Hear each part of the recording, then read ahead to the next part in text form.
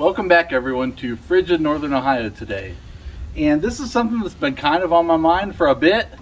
After we did the three-point hitch install video, I was asked by a couple people in person, is that all the farther down it goes? Because they saw that it would go from about here to maybe up to here.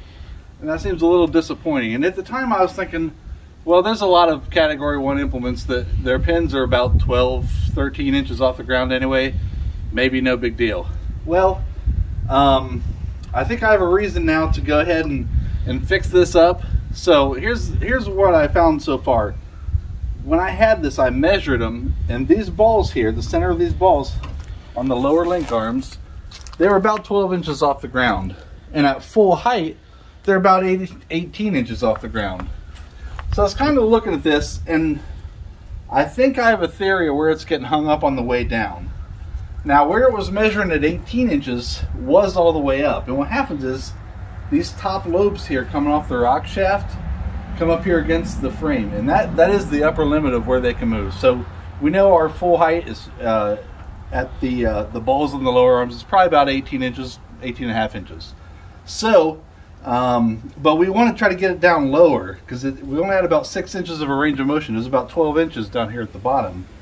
Um, so after looking it over and you know, kind of rocking it back and forth and looking at it, I think what may be holding this up is if you remember from our three-point hitch uh, install video, on this threaded rod here, there was a square nut on the back side of this.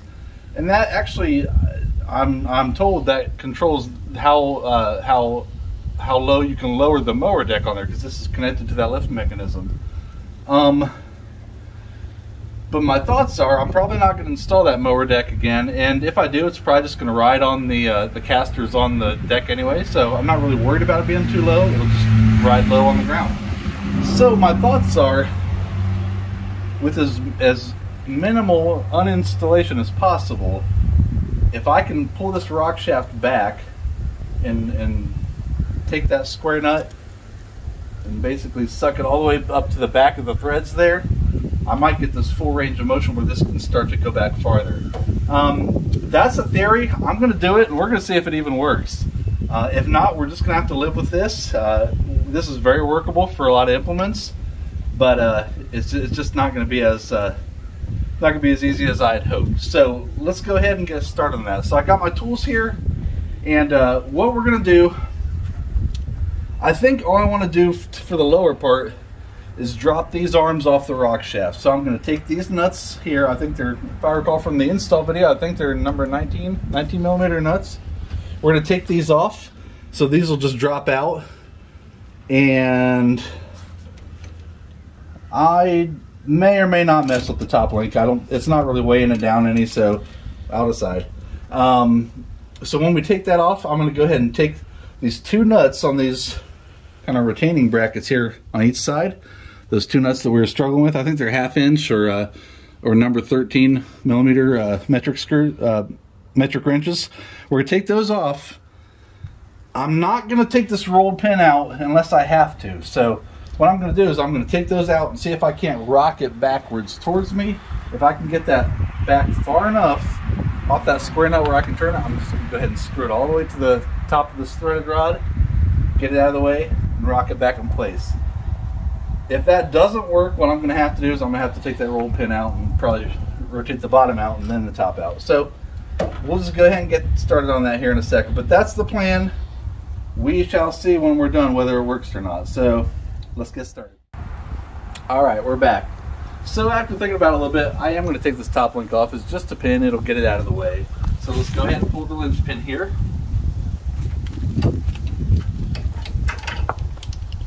Get that off pin back in there so I don't lose it. All right, these top uh, these top nuts right here, the ones I was talking about that I thought they might have been 19s, they're actually 24 millimeters. Um, don't know what that converts to in inches, but uh, that's what they are for here. So we're gonna go ahead and take these off really quick.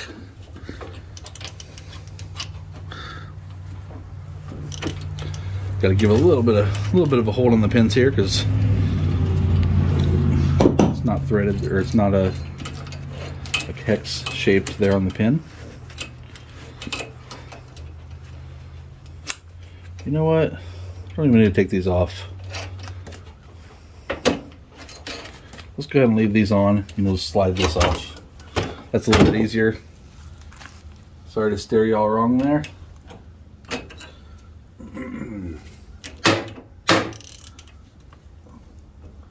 Tighten that up so I don't get surprised with it when I need it.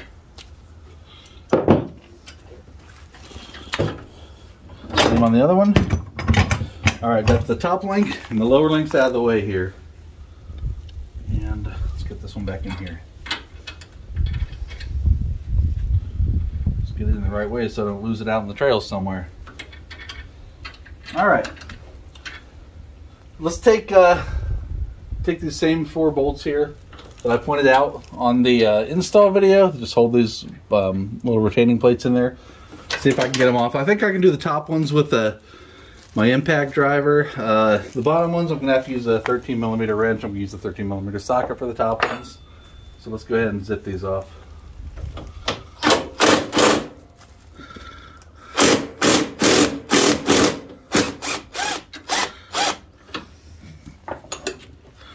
Looks like I need to grab the other side anyway.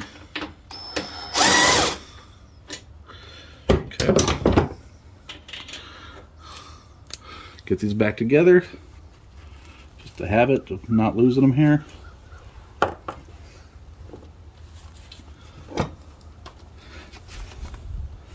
Top ones, uh, I was doing the impact on the outside and the wrench on the inside.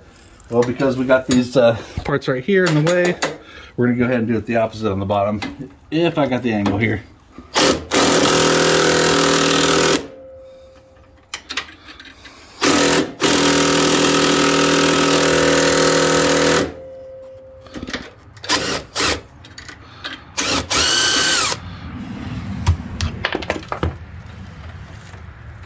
I'm not sure why that was so hard.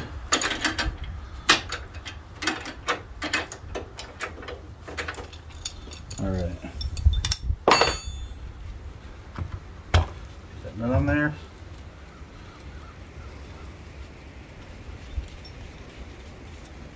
All right, other side.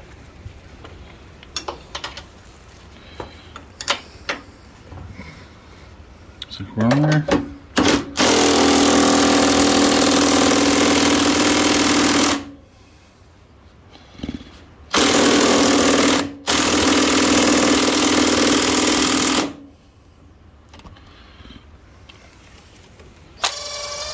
I didn't know better. I swear this thing was going the wrong way.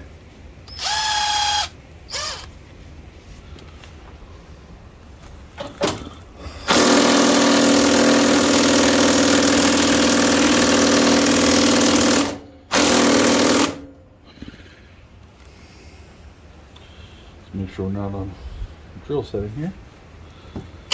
Let's see. Maybe this is just gonna take some manpower. And I'm that man. All right.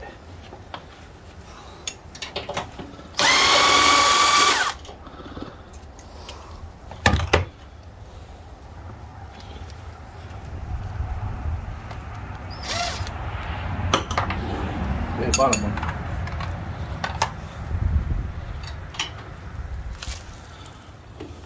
So I don't even think I can get that in there. If you remember from the install video, that was uh, kind of a problem. But I think I can take the torque off of it here, so should be enough to make it happen.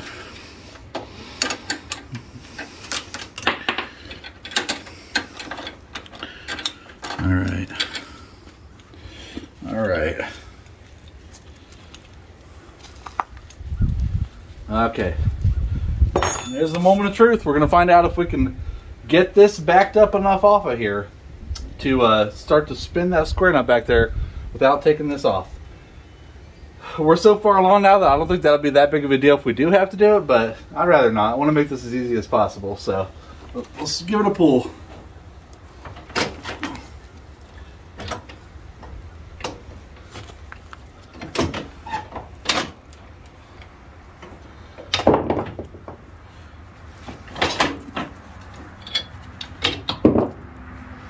Well, jeez, this whole thing's wanting to fall apart on me. Get these back together.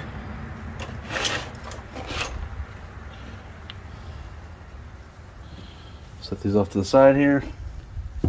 They're kind of greasy from the greasing we did, but I think I can do it. So let's go ahead and look at this nut here. So this is the nut that I think is affecting us here. Um, thankfully, we were able to rotate that back. Had to go a lot farther than I thought. Uh, but it looks like it does just barely clear that to where we can do it without fully taking this off. So let's go ahead and start spinning that all the way up to the top of the threads there. And like I said, this is kind of a guess. I'm, I don't really see what else could be hanging it up as far as going down farther, so I'm thinking this must be it. I mean, unless it's uh, unless it's related to the mower lift uh, assembly over here on both sides, but I don't think that's it.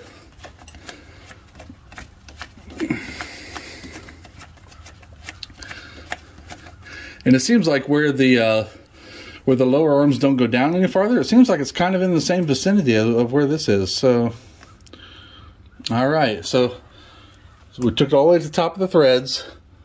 And uh, once again, you got to get it lined up like that so it'll slip inside of here. If we have it like this, it's going to hang you up and you're going to wonder what's going on because you can't see it once you get it to that point. So let's turn it that way. And let's try to rock this back into place.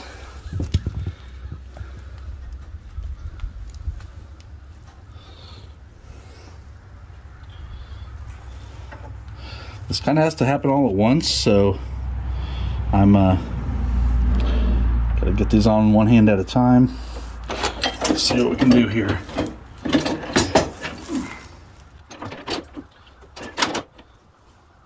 Hmm.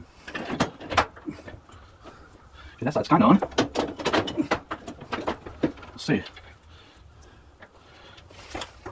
Maybe right angle here, maybe.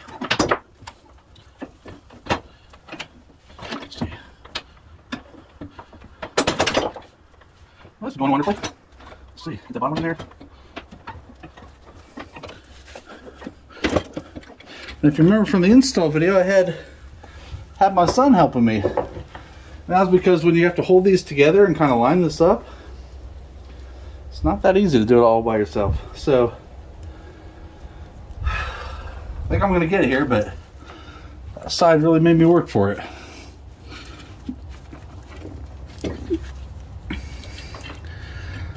See.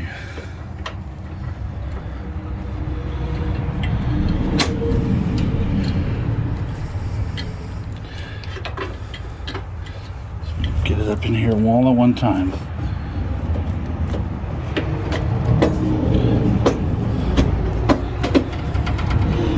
Alright, looks like we're getting close.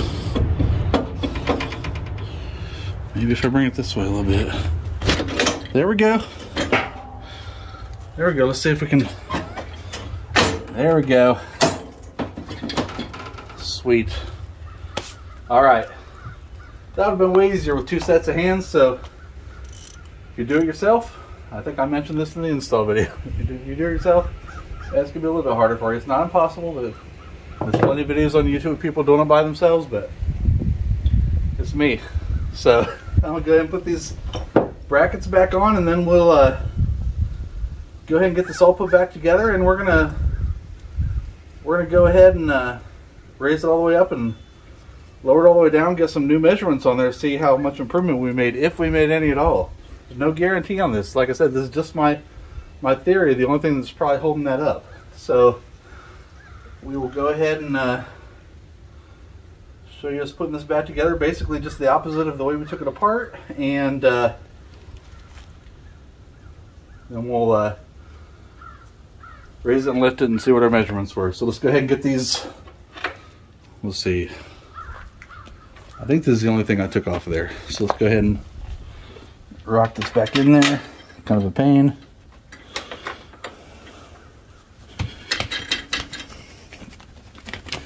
So it's probably about in the mid 20s today in Ohio here, so um, it's kind of cold. Nice to have the gloves on, but it's also nice to be able to touch what you're working with so that you can uh, get these in. It can be a little bit hard to tell sometimes with gloves on. Let's go ahead and I'm just gonna try to get these all started.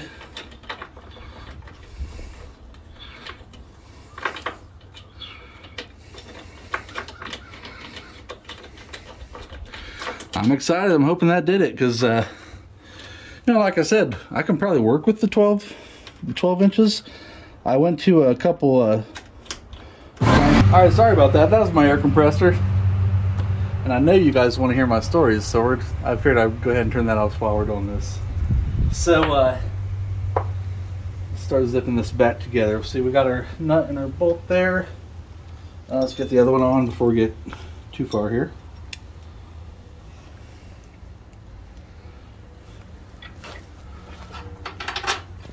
I'm excited if this works. Oh, it's a tough one.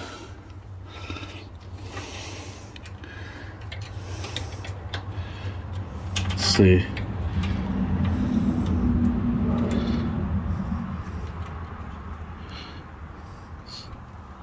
Gotta get every angle perfect here.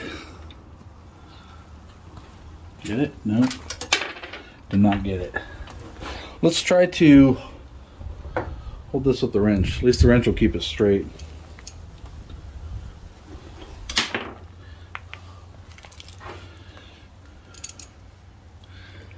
All right.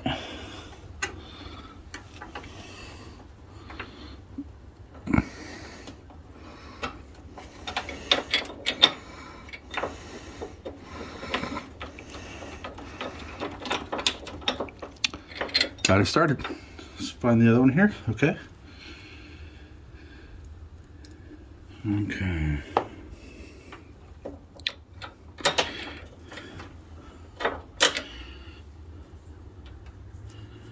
While I'm messing with it, I wanted to thank everyone for watching. Um, that last video did really well. I appreciate all the watching. We got people from uh, people from all over the world watching that video. Actually, I, I am shocked and, uh, and thankful. Um, gained quite a few new subscribers, so kind of excited that things are starting to starting to get rolling here, and uh, maybe we can really do something with this. So remember to, if you've already subscribed, if you haven't subscribed, go ahead and subscribe. If you've already subscribed, uh, make sure to share these videos if with people you think might be interested in them. And, uh, you know, try to uh, give as much feedback as possible because while I see all the views and I'm thankful for them, and that really shows me that you guys are into what we're doing here, YouTube doesn't know we're doing well unless you tell it. So, I would uh, encourage y'all just to just to get involved with that, you know. Give your thumbs up and stuff. That tells uh, tells YouTube that the content that's out here is is what is interesting to you and what might be interested interesting to other people. They'll start to shop around other other countries, and before you know it, you'll have something like we had with that last video where people from all over watching it. All right, let's get these other two done here.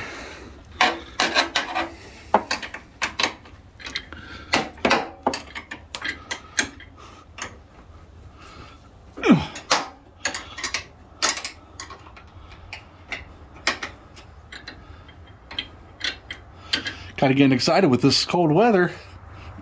Being January now.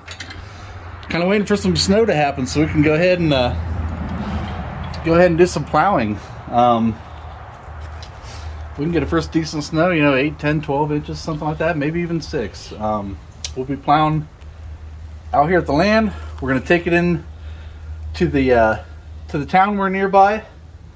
Go ahead and clear a driveway there, maybe clear out some other driveways, maybe do some charity stuff too, maybe some freebies for someone who needs it. So let's go ahead and finish our assembly here, and uh, we're to go ahead and test it out.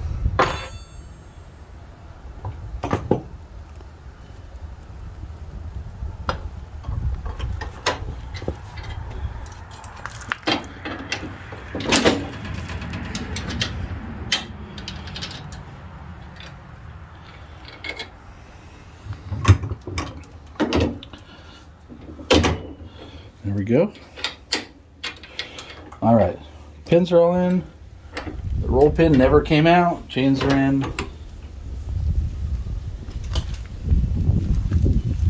ahead and throw the top link in there for good measure.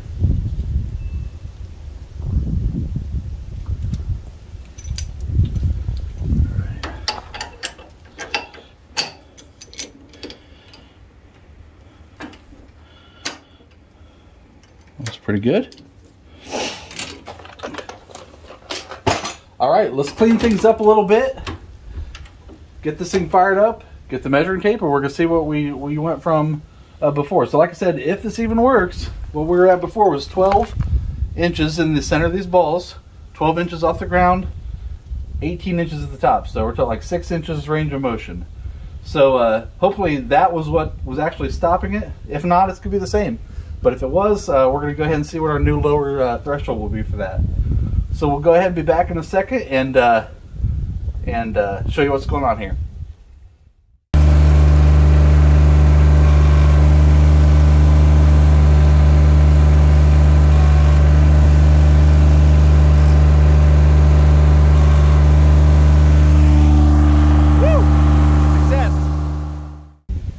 So, go ahead and test it out let me know what you think guys. Uh, clearly it was a success. Um, like i said we're about uh, 18 inches at the top position there.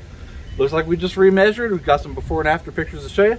Um, you can see it goes down to about seven inches now. So we went from a range of motion of about six inches down to about 11 inches now or up to about 11 inches. So uh, that was a success. Okay so here's the thing. I made this mistake to install it this way and then had to redo it.